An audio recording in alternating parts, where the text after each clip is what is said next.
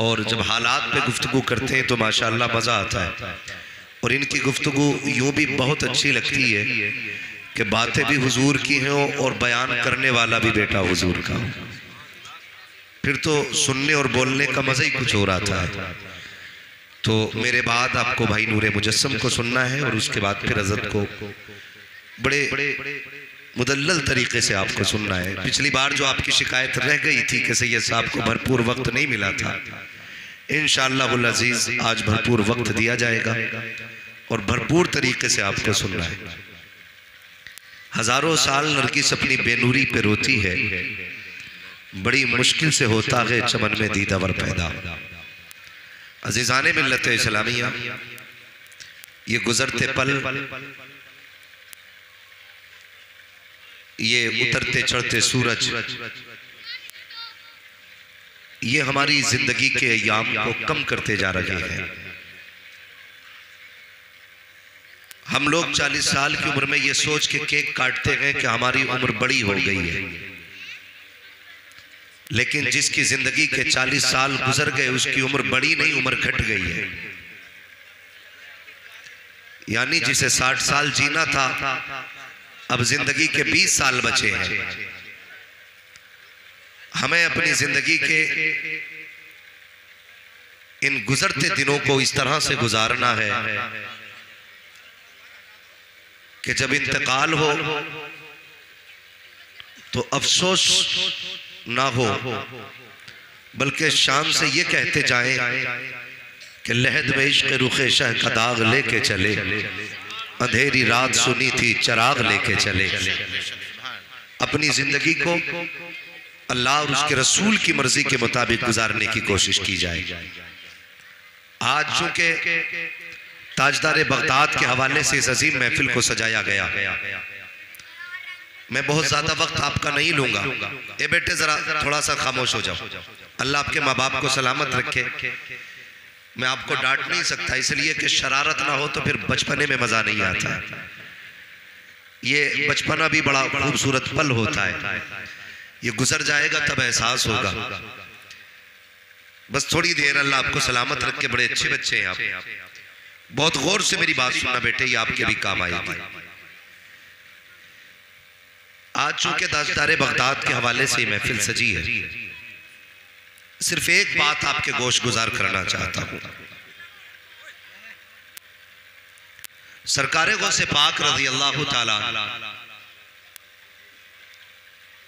जिस आँगन में आप खोलते हैं उस आँगन के दो माली हैं। एक माँ और एक बाप। तकवे में दोनों लाजवाब है।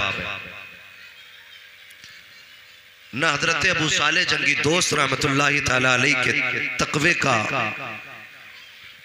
कोई गुमान कर सकता है कि कितना आला था। और ना ही आपकी वालदा की पारसाई के बारे में मुकम्मल तौर पर बयान किया जा सकता है। बस इतना समझ लीजिए कि खातून जन्नत की चलती फिरती तस्वीर गौ से पाक की अम्मी की जात में नज़र आया करती थी। और आपके वालिद गिरामी, ऐसे पाए के परहेजगार आपने कई बार सुना होगा कि एक सेब उठा के दरिया से खाया था। लेकिन दिल ने उसे कबूल करने से इनकार किया था। फिर उसकी माफ़ी के लिए सफ़र किया। और बरसहा बरस तक उसकी माफ़ी के रास्ते तलाश करते रहे। आज हैरत की बात यह है कि ताजदार बगदाद के नारे भी हम खूब लगाते हैं। ग्यारहवीं के जर्दे खाते खाते हमारे दांत टूट गए। लेकिन ज़िंदगी कैसे गुजारनी चाहिए, ये आज तक समझ में नहीं आई। सरकारें से पाक के वालिद तो एक बहता हुआ सेब उठा लेते तो उसकी माफ़ी के लिए परेशान हो जाते। यहाँ लोग खेत के खेत काट लेते हैं, ख्याल तक नहीं आता। बुरा ना मानिएगा। रमज़ान के फ़ौरन बाद बकरे बकरे खरीदे जाते बाबा के बकरा ईद आ रही है, थोड़े महँगे करके बेचने। जिनका घर गाँव के बाहर होता, उनकी तो चांदी कट जाती है। रात को खोल दिए, पूरे इलाके का बरसिंग खा खा के घूम आते। सुबह बाँध दिए। खेत वाला जाके कहता, ये क्या हुआ? कहते, हमारे तो बंदे पड़े। हमने तो खोले ही नहीं। पूरे पूरे बकरे हम चोरी की चारे से पाल लेते हैं। और फिर कहते हैं, देखो मेरे बकरे के आँख में मोहम्मद लिखा हुआ है। फिर रेट बढ़ाए जाते हैं। डरे अल्लाह से। अगर तुमने चलते फिरते किसी की खेत के धान की बाल का एक दाना तोड़ लिया, और उसको मुँह में रख के तुमने चबाया करते ना, मुँह में धान का दाना रखा, दांत से उसको खोला, चावल अंदर और छिलका छिलका छिलका, बाहर। अगर धान की मैंड पे चलो, हज़रत, पूरे धोरे के धोरे साफ़ है। ऐसे हाथ मारता, यूँ। दो तीन दाने खाए, बाकी यूँ। ख्याल कीजिएगा, जब कयामत में अल्लाह हिसाब लेगा ना कितना खाया था यह भी बताना पड़ेगा, छिलका किधर फेंका था यह भी बताना पड़ेगा। कोशिश ये कीजिएगा, किसी का एक दाना नाजायज हमारे हलक के अंदर नहीं आना चाहिए।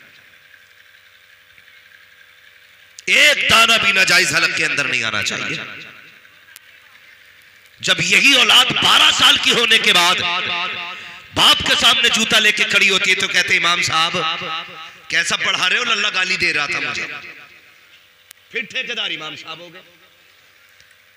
हमारा बेटा जूता लेके हम पे खड़ा होता है तो जिम्मेदार इमाम साहब हो जाते हैं। मुझे बता तो सही जब तू कमाने निकला था, तब बच्चों के लुकमों का ख्याल किया था। मैं जो इसे खिला रहा हूँ, ये हलाल का है कि हराम का? जब कंधे पे फावड़ा रख के तू खेत में खुदाई कर रहा था और दूसरे की मैंड काट रहा था, तब तुझे बच्चों के शूर का ख्याल क्यों नहीं आया? तब क्यों नहीं सोचा किसी की मैंड काटने के बाद इसके अंदर अगर चार बालें निकल आई और ये नाच में मिल करके मेरे बच्चों के हलक के अंदर जाएगी तो बच्चों की ज़िंदगी क्या बनेगी? तुझे उस वक्त सोचना चाहिए था कि बच्चों को कौन से लुक में खिलाने के जब तू दुकान पर बैठ करके एक किलो की जगह नौ सौ ग्राम तोलता है, तुझे उस वक्त बच्चों की ज़िंदगी याद क्यों नहीं आती? है। जब तू कपड़े की दुकान पर बैठने के बाद सत्तर सत्तर लाइट लगा करके लोगों को अंदर करके कपड़ा बेचता है, तब तुझे बच्चों का फ्यूचर दिखाई क्यों नहीं देता है? जब तू अपने की बच्चों को हराम की रोजी ला करके खिलाता है, तब तुझे बच्चे याद क्यों नहीं आते हैं? सुन अपना मौलवी की तालीम से सुधरेगा, ना ये तावीज से सुधरेगा। इसको सुधारना था, मजदूरी करके लाता, पसीना बहा के लाता, मगर खुदा की कसम, हलाल का लुकमा लाता, हराम का दाना न लाता, बच्चे तावीजों से नहीं बल्कि बाप की हलाल कमाई से समरा करते। नारे तकबीर नारे रिसालत मसल के आला हज़रत उलमाए अहले सुन्नत मुफ्ती हम्माद रजा साहिब मुरादाबादी। नारे तकबीर नारे रिसालत। आदत डालो हलाल की। खबरदार याद रखना एक लुकमा हलक से हराम का नहीं उतरना चाहिए। एक लुकमा भी। अगर एक लुकमा हराम का हलक से उतर गया तो पूरे खून में गड़बड़ी कर देगा जाकर। के सबसे पहला काम ये करना है अपने बच्चों को हलाल के टुकड़े खिलाने कैसे? हलाल के। एक बात और बता दूँ इलाके की बात है और माहौल भी ऐसा देखा है हम लोगों ने। कभी कभी धान काटने की बारी आती है ना। तो कभी पुलों पे धान कटते हैं। तो जहाँ से उठाने होते हैं ना, बंदे को उधर बड़ा बाँध देता है। जो मालिक के होते हैं, उधर छोटे बाँध देता है। फिर मालिक कहता, भाई, गिन तेरे कितने हो गए? कहा, सत्तर। तो सत्तर पूलियाँ बड़ी बड़ी ला रहा उठा के ना। ये चलाकी नहीं है। ये चार सौ बीस ही है। और आपको क्या लगता है, किलो, दो किलो तूने बढ़ा लिया तो इससे तेरी नस्लों के गुजारे हो जाएँगे। नस्लों के गुजारे हो जाएँगे। एक थोड़ा अल्लाह कमर में निकालता है, पंद्रह लाख एक झटके में चले जाते हैं। हलाल के लुक में कमा के लाओ। इंशाला पाँच रुपए की पुड़िया से काम चल जाएगा। ये ख्याल कीजिएगा, किसी को धोखा ना दीजिएगा। धोखा न दीजिएगा। हालात देखो हालात। बाज़ार में जाते हैं, बाज़ार में। बड़े बूढ़े तो जाते जाते बुजुर्गी आ गई, बच्चे भी जाते होंगे। कुछ लोगों का यही काम है। ठेले पे जाएँगे, एक मूंगफली उठाई, मुँह में डाली, क्या रेट है? उसने कहा 120 के महँगी है। आगे चले। अगले ठेले पे सिंगाड़े थे। पहले दाना निकोला खाया, बोला, क्या रेट? का पचास रुपए का, महँगा है। सुबह से शाम तक गधे की तरह बाज़ार में घूमता रहा। पेट भर गया, एक रुपया नहीं दिया किसी का। फ्री फंड में हराम की खा के आ गया। बचो इन टुकड़ों से। और कभी भी अगर कोई बंदा मजदूरी करता तो शर्म न करना। इसलिए कि मजदूरी शर्म की बात नहीं, मजदूरी इज़्ज़त की बात है। ये नौजवान नस्ल है। अक्सर क्या कहते हैं, अब्बा, छोड़ो ना, मजदूरी करना हमारी शान एटी होती है। क्या कर रहे हो ये? देखो, उसने बिल्डिंग बनाई है। तुमसे आज तक छप्पर ना हटा। जरा जाके देख बिल्डिंग के नीचे कितने गरीबों का हक दबा कितने कमज़ोर लोगों के आँसू तब जाके बिल्डिंग खड़ी हुई है। तेरे बाप ने छप्पर इसलिए नहीं हटाया। इसने किसी के आँसू तेरे खाने में नहीं मिलाए बल्कि अपने पसीने की हलाल के लुक में पूरी ज़िंदगी खिलाए। शर्म मत किया करो बाप की मजदूरी पे।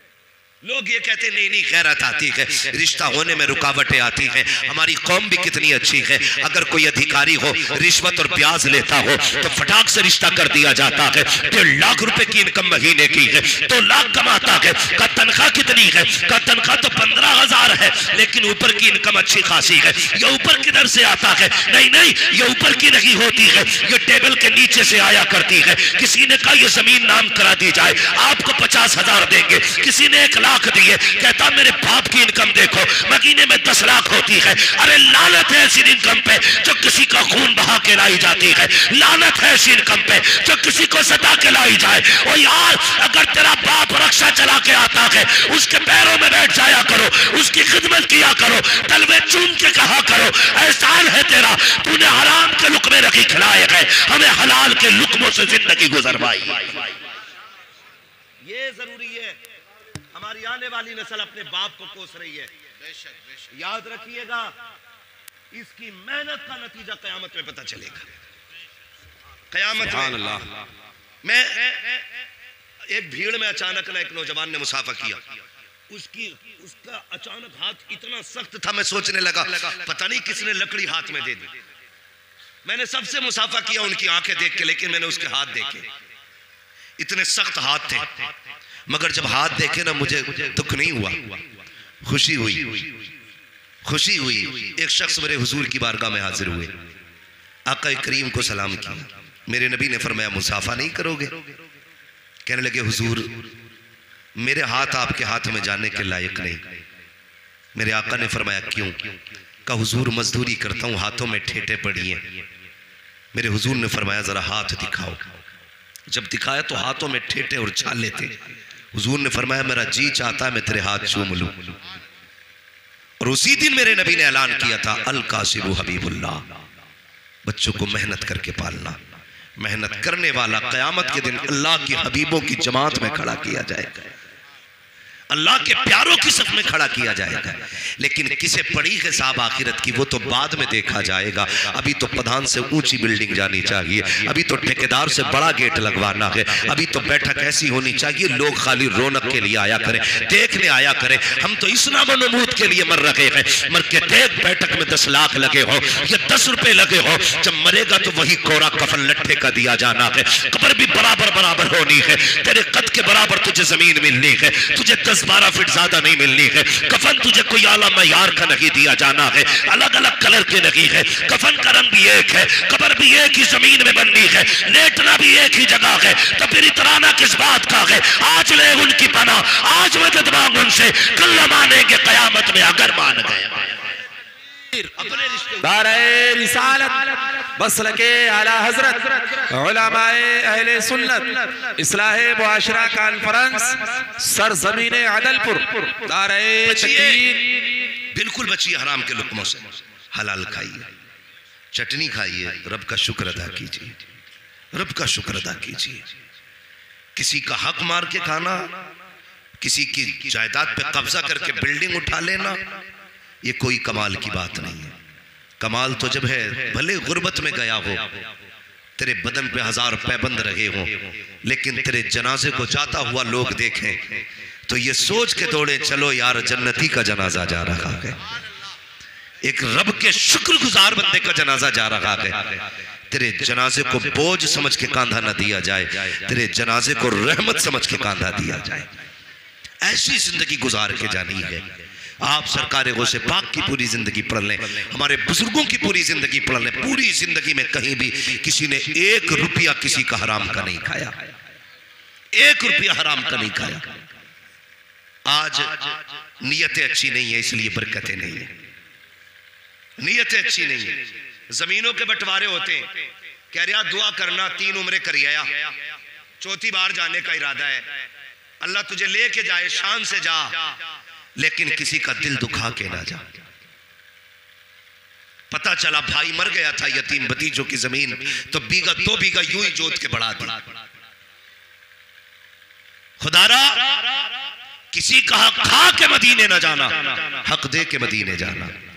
कहीं ऐसा ना हो तू गुम्बदे खजरा पे पहुँचे और तू सलाम करे, हुजूर की आवाज़ आए, नादान, मेरे उम्मती का हक खा के मेरे दरवाजे पे किस मुँह से आया है तो क्या जवाब दोगे हुजूर को? क्या जवाब दोगे?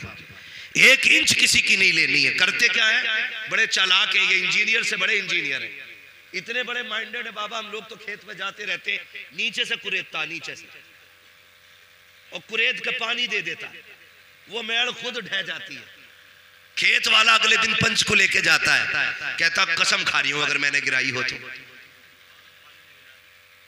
मैंने तो पानी भरा था, बह गई।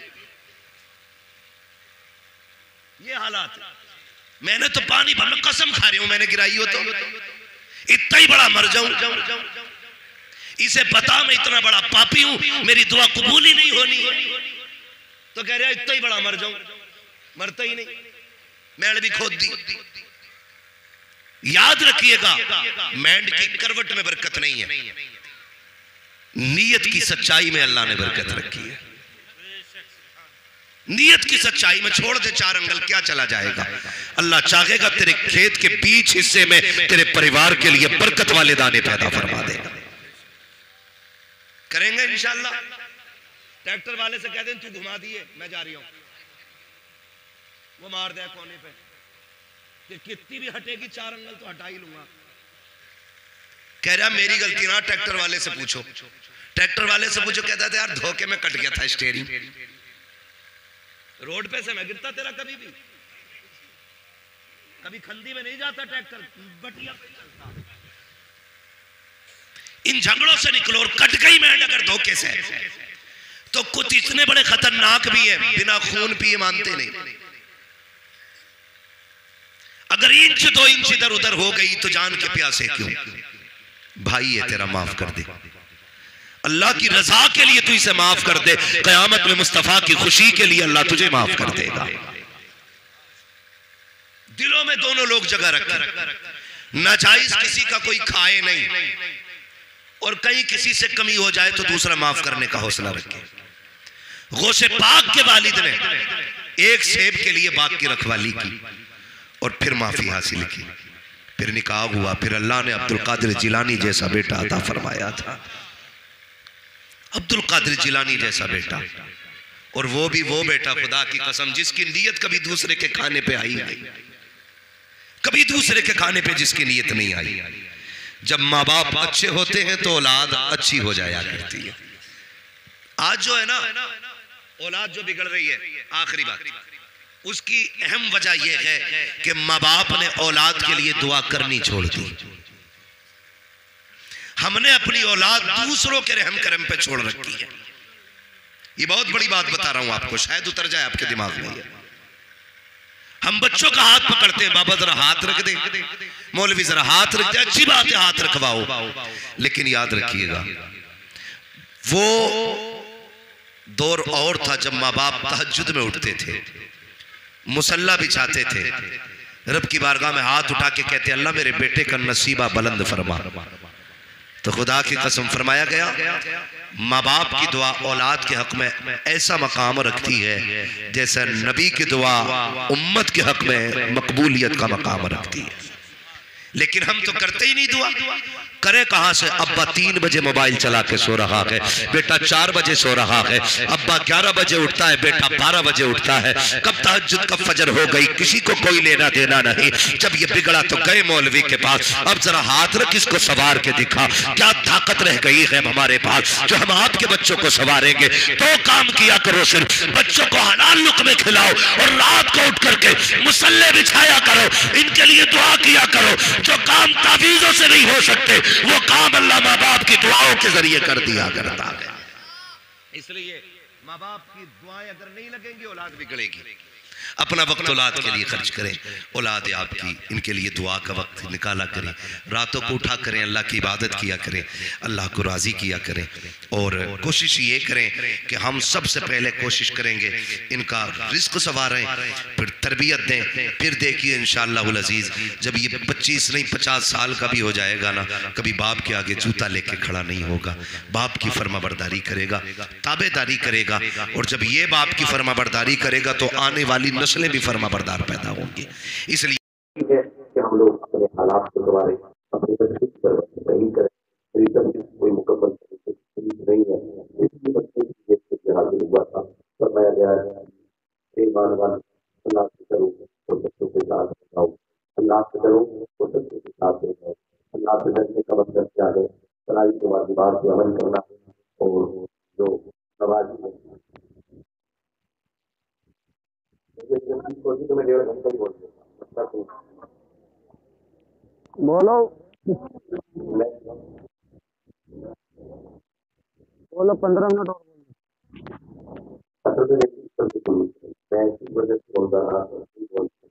तकलीफ़ है भाई जलसे के लिए चल। अरे भाई यार ये मत करो भाई ये कैमरे लगे हैं ये कैमरे चल रहा है इसका फ़र्क होता है ना। मैं थोड़ी देर और अल्लाह को सलामत रखे तो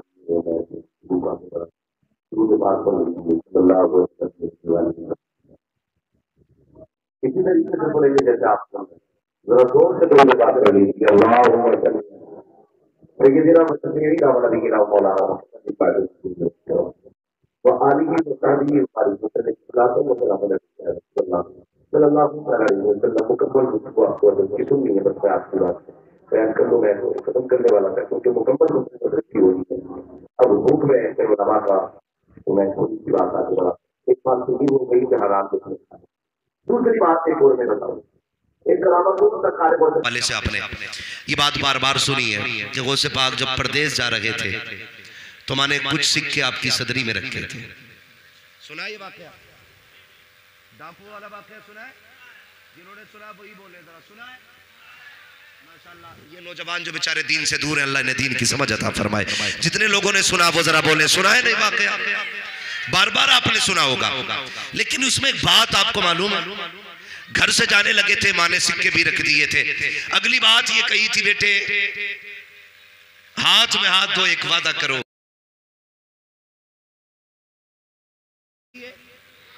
बोले, जी, हुई थी बात? सर न गिलाई, अब तो पढ़े लिखे लोगों का दौर है। वो तो चले ही गया दौर। जब आदमी धूप छाव देख के टाइम का फैसला फैसला करता था। तो माँ ने कहा बेटे झूठ नहीं बोलना। गौसे पाक ने माँ से वादा लिया। फिर क्या हुआ? आखिर में कुल मिला के बात ही आई गौस पाक को भी बुला लिया। पूछा तुम्हारे पास क्या है? कहा सोने के सिक्के। किधर है? सदरी में। कहा, हमें तो नहीं मिले कहा सिलाई उधेड़ोगे तो मिल जाएँगे। तो सरदार ने कहा, झूठ क्यों नहीं बोला? बच जाते। वो से पाक फरमाते, घर से चला था तो माँ से वादा किया था। का सिक्के तो बच जाते, लेकिन माँ से किया हुआ वादा टूट जाता। अब ग्यारहवीं खाने वालों गौसे पाक का नाम लेने वालों, जरा दिल पे हाथ रख के बताओ सुबह से शाम तक कितनी बार माँ से झूठ बोलते हो? कितनी बार? लल्ला कहा जा रहा कहीं नहीं। गायब। क्या है तेरे हाथ में? कुछ नहीं। जबकि बीवी के लिए सोम पपड़ी लेकर आ रहा थैले में क्या के खाने के बर्तन, जबकि सेबों की पुटलियाँ नीचे रखी है? कितनी बार झूठ बोलते हो माँ से? शाम के वक्त किसी यार का फ़ोन आ जाए, किधर है? घर माँ ने दस्तरखान बिछा रखा है। कहा जल्दी आ तुम घर से निकले। माँ ने कहा किधर कहा? बस अभी आया। ये कह के निकल गए। तुम्हारे नौ बज गए रात के पलट के नहीं आए। ग्यारह बज गए रात के पलट करके नहीं आए। तुम तो अपने यारों के साथ खड़े होकर के चौराहे पर पकौड़ी समोसे खाते रखे नाश्ते पे नाश्ते करते रखे तेरा पेट तो गधे की तरह नाक तक भर जाता है। यारों के साथ लेकिन भूल गया। जब तू घर से चला था माँ ने कहा था। बेटे, किधर जा रहा है? कब बस अभी आ रहा हो? तुमने बस कह के गए थे। ग्यारह बजे तक नहीं पलटे। तुम मस्तियों में रखे लेकिन माँ की मस्तियाँ खत्म हो चुकी थी। माँ का करार जा चुका था। माँ कभी दरवाजे पे, कभी दस्तरखान पे। कहती थी, अब तक क्यों नहीं आया? ये तो कह के गया था, अभी आ रहा हो। तुम ये समझते हो, माँ बेवकूफ़ होती है। खुदा की कसम, माँ बेवकूफ़ नहीं होती है। माँ सीधी हुआ करती है, लेकिन इतनी होशियार होती है कि आज तुम बोल के इसे बेवकूफ़ बनाते हो? लेकिन हकीकत ये है। माँ तो तब तुम्हें समझ लेती थी, जब तुम बोलना नहीं जानते थे। माँ उस वक्त तुम्हें पहचानती थी, जब तुम कुछ कहना नहीं जानते थे। तुम रोता था, माँ कहती थी, बेटे के पेट में दर्द है, अभी कोई आला नहीं लगा है। माँ ने तेरी बीमारी का पता लगा दिया। तूने तो रोना चाहा, लेकिन रो ना सका। माँ कहती थी, इसके गले में तकलीफ़ है, रो नहीं पा रहा है, कोई मशीन नहीं लगी है। माँ ने तेरा चेहरा देख के बीमारी बता दी।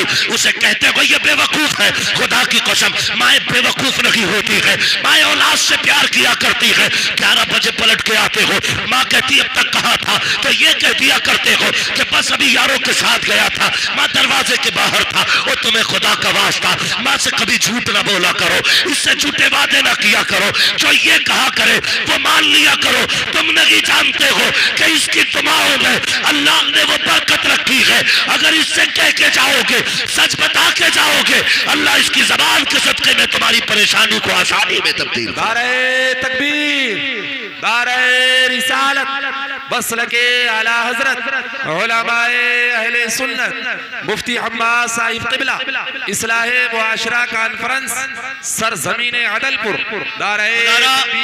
माँ बाप से झूठ ना बोलना। और कभी कभार आगे लौट के उसने कहा अब तक कहाँ था? खाना ठंडा हो गया। तो कहता मुँह बंद रख। मुझे नहीं खाना क्योंकि यारों के साथ ये दो चार किलो पकौड़ी खा के आया। अब माँ को दिखा रहा सब्र अपना, नहीं खाना। सच बता उसे बेकरार न कर। तू नहीं जानता, भले ही तेरा पेट भरा, तू सो गया, लेकिन माँ नहीं सो पाएगी।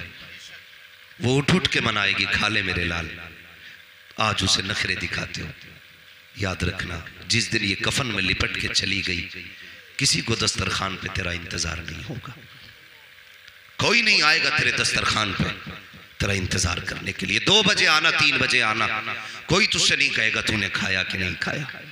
मर्ज़ी हो तो निकाल के खा, वरना सो जा। कोई पूछने वाला नहीं। आज ये है, इसलिए पूछ रही है, तूने खाया कि नहीं खाया? आज ये है तो इसे इंतज़ार है तेरा। कल ये नहीं होगी तो किसी को इंतज़ार नहीं होगा। जिस बीवी बच्चों के लिए तुम माँ बाप को छोड़ देते हो, ये चादर तांग के सो जाएगी। दरवाजे पे आधा आधा घंटा खड़े होकर तुझे आवाज़ देनी पड़ेगी। कोई गेट खोलने वाला नहीं होगा। आज माँ है ना, इसकी इज़्ज़त कर लो। इसकी कदर कर लो, खुदा की कसम। कल आओगे, तुम्हें लगेगा कोई पूछे मुझसे खाने के लिए, लेकिन कोई पूछने वाला नहीं होगा। जब तुम रोटी की तरफ़ देखोगे, तुम्हें माँ याद आएगी। जब तुम किचन की तरफ़ जाओगे, माँ याद आएगी। जब तुम पानी पियोगे, तुम्हें माँ याद आएगी। जब तुम सोचोगे कोई मुझसे पूछने वाला हो हाल, तब तुम्हें माँ याद आएगी। उस दिन तुम्हें लगेगा, तुमने क्या खो दिया है। आज माँ है तो नौजवानों, इज़्ज़त करो। कदर करो, इससे झूठ ना बोला करो। जो ये कहा करे, वो किया करो। यार हज़ारों मिल सकते हैं। माँ बाप दोबारा नहीं मिलेंगे। माँ बाप दोबारा नहीं मिलेंगे। जिस तरह कायनात का मालिक एक है, अल्लाह एक है, उसी तरह माँ बाप भी हर बंदे के सिर्फ़ एक ही हुआ दो नहीं हो सकते। जिस माँ के ज़रिए तुम दुनिया में आए हो, वो माँ भी एक रहेगी। जिस बाप के ज़रिए तुम दुनिया में आए हो, वो बाप भी एक रहना है। इसलिए खुदारा, माँ की भी इज़्ज़त कीजिएगा, बाप की भी इज़्ज़त कीजिएगा। बगदाद वाला बड़ा पीर, खुदा की कसम कहता, मैं माँ का दिल नहीं तोड़ सकता था। ऐसी चालीस सिक्कों की बात करते हो, हम तो चालीस लाख में आग लगा देंगे, लेकिन माँ से किया हुआ वादा नहीं तोड़ा जाएगा। अब ये देखिएगा, जब माँ से वादा करके गए, अल्लाह ने क्या इज्जतें बख्शी, जब इतना सुना कि मेरी माँ ने वादा लिया था। इसलिए मैंने झूठ नहीं बोला, चीख निकल गई डाकुओं के सरदार की। उसने कहा, अफसोस है बच्चे हम खुदा का वादा भूल गए, तू माँ का वादा नहीं भूला। हाथ बड़ा तोबा करा ले, मुझे भी अपना बना ले। जैसे इतना सरदार ने कहा था, चेले चीख पड़े थे। अजी हुजूर, जब चोरी आपके साथ की थी तो जन्नत में अकेले नहीं जाने देंगे। जगह जगह आप जाओगे, वहाँ वहाँ हम साथ जाए। इसलिए अपने माँ बाप का एहतराम करें। वो से पाक के किरदार को सीखें। और मैं एक बात तो अक्सर कहता हूँ, दोस्ती करने से पहले बंदे को देख लो ये अपने माँ बाप का वफादार है कि नहीं। अगर कोई बंदा अपने माँ बाप का वफादार ना हो और तुम्हारी यारी का दम बढ़ता है तो लात मार देना। इसलिए कि जो अपने माँ बाप का नहीं हो सकता, वो कभी तुम्हारा भी नहीं हो सकता है। अगर आज फ़ायदे के लिए उसने माँ बाप छोड़े हैं, कल फ़ायदे के लिए तुम्हें छोड़ देगा इसलिए दोस्ती करने से पहले उसकी ज़िंदगी देखा करो माँ बाप के साथ कैसी है। जो माँ बाप का वफादार हो, आँखें बंद करके हाथ में ला लेना। इसलिए कि माँ बाप के वफादार बेटे कभी गद्दार नहीं होते। कभी गद्दार नहीं होते। इसलिए बगदाद वाले ने यह भी सिखाया, माँ का कैसे एहतराम करना है। माँ की कैसे इज़्ज़त करनी है। याद रखिएगा, पहले अल्लाह तकवा अता फरमाता है, उसके बाद करामत का नूर अता फरमाया जाता है। तकवा इख्तियार कीजिए, फिर देखिए अल्लाह करामत का नूर कैसे अदा करता है। तकवे का तो कमाल सरकार से पाक का, फिर अल्लाह ने करामत का वो नूर अता फरमाया कि अगर हड्डियाँ इकट्ठा करके मुर्गे को बोल देते हैं, कुंभे इजनिल्ला वो भी खड़ा हो जाया करता है। मुर्दों को बोल देते हैं, कुंभे इजनिल्ला उठ के बैठ जाया करते हैं। ये कैसा था? कैसे हुआ? खुदा की कसम, बस यूँ समझ लीजिए, जो खुदा का हो जाता है, पूरा जहान उसका हो जाया करता है। करेंगे इंशाल्लाह माँ बाप का एहतराम। हलाल लुक में खाएँगे इंशाल्लाह। किसी का बरसिंग तो नहीं काटेंगे रात में। किसी के फूले बाँध के तो नहीं लाएँगे। किसी की पराल चुरा के तो नहीं जलाएँगे। सर्दी आ रही है। होता क्या ताप रहे गली देखी, खींच के जला दिया। थोड़ी देर मौज की चली गई। नहीं। ऐसी ज़िंदगी गुजार के जाओ। तुम्हारा किरदार बता दे, ये मुस्तफ़ा का कलमा पढ़ने वाला जा रहा है। लाख दो लाख पे लात मार दो, अगर हराम का है। ठोकर मार दो। इसलिए कि जो हमारे नबी को पसंद नहीं है, वो हमें भी पसंद। हमें भी पसंद। हमें भी पसंद। बेटी माँ बहनों को जाके समझाना, लल्ला अगर पाँच रुपए में सौदा भी ले आए और पाँच रुपए वापस भी ले आए तो उसे चलाक मत कहना, उसे चोर कहना। और जल्दी से पहले तीन बच्चे की गलती पे पर्दा न डालना है, उसको डांट करके सुधारना है। खबरदार ये पैसे वापस करके आ। ये हमारे नबी ने हमारे लिए हराम बताए हैं। ये बच्चों को आप तालीम दो, पूरी ज़िंदगी किसी का एक रुपया हराम का बच्चा नहीं लेगा। फरमाया गया ईमान वालो, अल्लाह से डरो और सच्चों के साथ हो जाओ। अल्लाह से डरोगे, सच्चों के साथ रहोगे। इन मर के देखोगे, कब्र में पहुंचोगे, तुम्हारी कब्र को तुम्हारे आने से पहले बुके नूर बना दिया जाएगा। पहले ही तुम्हारे आने से तुम्हारी कब्र को जन्नत की क्यारी बना दिया जाएगा। बस जो हुए अखलात उनको माफ़ फरमाए, रब कायनात। ज़िंदगी ने दिया साथ, फिर होगी मुलाकात। चमन रहा, फूल खिलेंगे, ज़िंदगी रही फिर मिलेंगे। मुसाफिर हैं, हम भी मुसाफिर हो, तुम भी। किसी मोड़ पर फिर मुलाकात होगी। फ़कीरान आए सदा कर चले, सदा खुश रहो, ये दुआ कर चले। सारे लोग कलमा शरीफ पढ़ लीजिए, ला ऐसे नहीं ऐसे नहीं, जैसे सुनना है, वैसे पढ़िएगा। ज़ोर से पढ़े, ला